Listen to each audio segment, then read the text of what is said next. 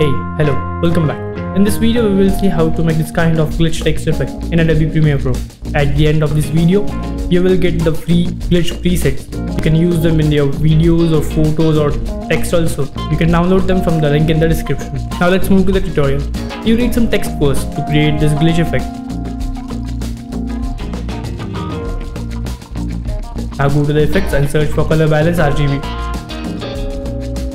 and drop it to your text layer. Now make two copies of this layer.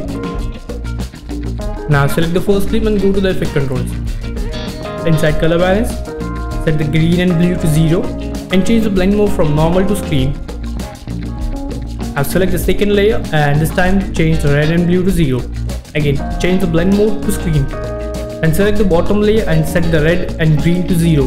Now you don't need to change its blend mode. Now select the first layer and move your playhead to 1 second. Now give a keyframe to the position and move 5 frames ahead. And change the position of text to left or right. Like this. Now again move 5 frames ahead and reset the position value. Now let's play. Now you got your small and simple glitch effect. Now you can add some variations to the glitch by animating the scale and rotation. Go to the first frame and give a keyframe to scale and rotation. Now move 5 frames ahead and change the scale to 105 and rotation to 5 degree. Now again move 5 frames ahead and reset the both scale and rotation. And let's play. Now you got your simple glitch effect within just few minutes.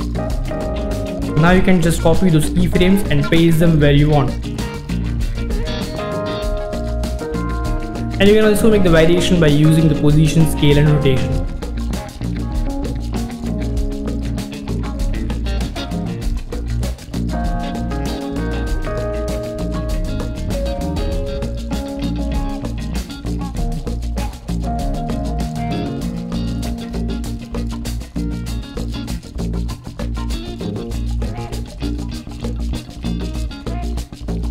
Now select all these layers, right click and nest. Now move to 1 second and apply a cut for 15 frames. Now go to the effects and search for wave warp. And drop this effect to those 15 frames. Now change the wave type from sine to square. Now set the wave height to 10 and wave width to 350 and set the direction to 0 and play the video. It looks perfect. Now you can play with the values to add some more effect. And if you are lazy to do all this stuff, you can download those free glitch presets from the link in the description. You can also use them on your videos or JPEGs. You just need to cut the part where you want this effect and drop the preset on that part. This preset works best between 10 to 15 frames, so keep this in mind.